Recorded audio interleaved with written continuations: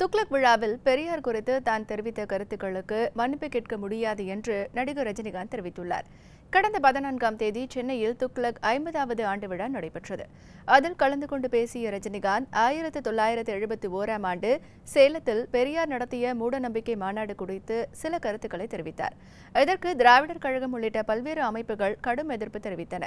மேலும் ரஜினிகாந்த் தெரிவித்த கருத்துக்களை திரும்ப பெற்றுக்கொள்ள வேண்டும் என்றும் அதற்காக அவர் மன்னிப்பு கேட்க வேண்டும் என்றும் தெரிவித்து வந்தனர் இந்நிலையில் இன்று தனது போயஸ் கார்டன் நிலத்தில் செய்தியாளர்களை சந்தித்த ரஜினிகாந்த் ஆயிரத்து தொள்ளாயிரத்து எழுபத்தி ஓராம் ஆண்டு நடைபெற்ற மூடநம்பிக்கை மாநாடு குறித்து ஆதாரமற்ற கருத்துக்கள் எதையும் தான் தெரிவிக்கவில்லை என்றும் அதனால் மன்னிப்பு கேட்க முடியாது என்றும் தெரிவித்தார்.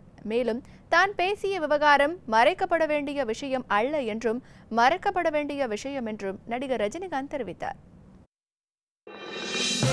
இது போன்ற முக்கிய வீடியோக்களை உடனுக்குடன் தெரிந்து கொள்ள நியூஸ் ஜே யூடியூப் சேனலை சப்ஸ்கிரைப் செய்யுங்கள்